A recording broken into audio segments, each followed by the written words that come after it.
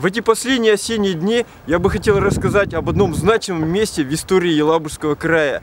Каждый елабужанин легко узнает эти места с этими старинными козьими тропками.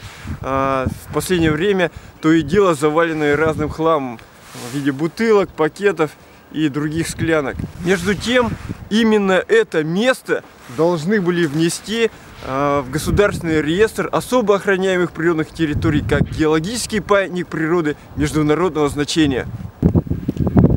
Это береговое обнажение реки Камы является эталонным геологическим разрезом пермского периода, точнее пермской системы. До середины 19 века это было самое крайнее на востоке изученное геологическое обнажение этого периода. Каждый слой этого обнажения был детально изучен.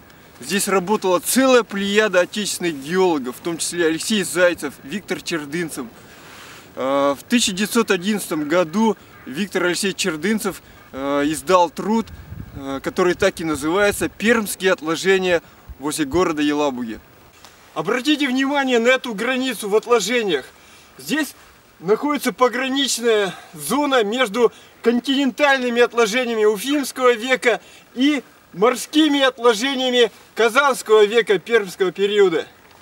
В Уфимский век пермского периода в этом месте протекала дельта крупной реки.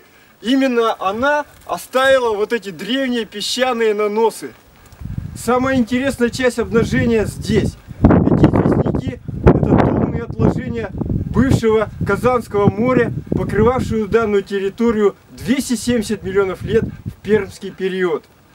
А, в этом месте сохранился уникальный грот, который хранит а, старинные легенды о подземельях а, под городом Елабугой. Ужасно, но в последнее время данное обнажение превращается в обыкновенную мусорную свалку –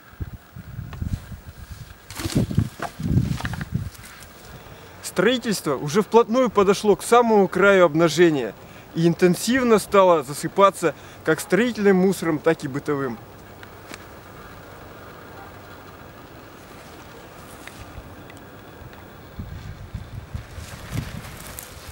Совсем рядом расположено еще одно уникальное место. Где-то в этих местах Иван Иванович Шишкин а, сделал наброски своего будущего шедевра под названием «Кама», который вышел в свет в 1882 году. Я очень надеюсь, что елабужане с пониманием отнесутся к проблеме сохранения данного геологического объекта, а также шишкинского места. Здесь просто необходима экскурсионная тропа, где жители нашего города, а также гости смогут изучать историю нашей земли, нашего родного края. А, благодарю за внимание. С вами был заведующий музеем природы Национального парка Нижнекама Ренур Бекмансуров.